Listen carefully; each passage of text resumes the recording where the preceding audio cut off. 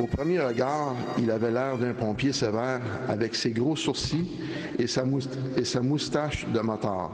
At first glance, he looked like a severe firefighter. With his big eyebrows and mustache, he looked difficult to approach. But behind this tough facade hid a man accessible, sensitive, and always ready to listen.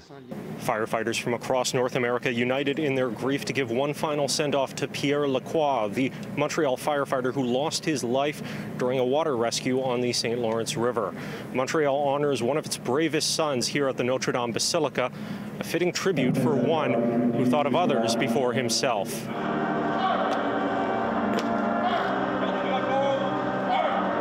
Pierre avait deux familles distinctes. Pierre had two distinct families. He had his girls, Annick and Stephanie. He talked about them with glowing eyes. He was very proud. His other family was our family, the firefighters, which took a big place in his heart. It occupied his daily schedule, so much so that he always had a reason to pass by the fire station during his vacation. An honor guard escorted Lacroix's remains from the viewing site at Grand Quai to the Basilica, joined by Lacroix's family and close friends.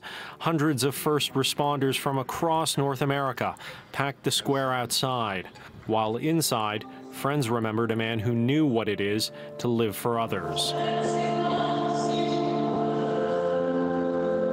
Étais un ami fidèle. You were a loyal friend, and when you adopted someone, it was for life. You loved and wanted to give, but all too rarely to receive. But not every Montreal firefighter was able to mourn.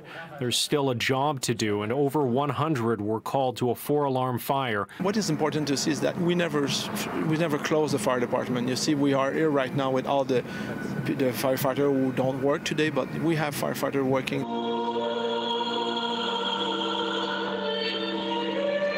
The significance of the morning fire wasn't lost on those watching the service outside, who expressed their gratitude to those still on duty to keep the city safe. I'm grateful for their service and um, for the risks they take every day to keep us safe. And uh, I hope they're doing okay today because it must be a really somber reminder of um, what can happen to them. So. I'm grateful for everything you do. Thank you. And the whole city is here with you to grieve.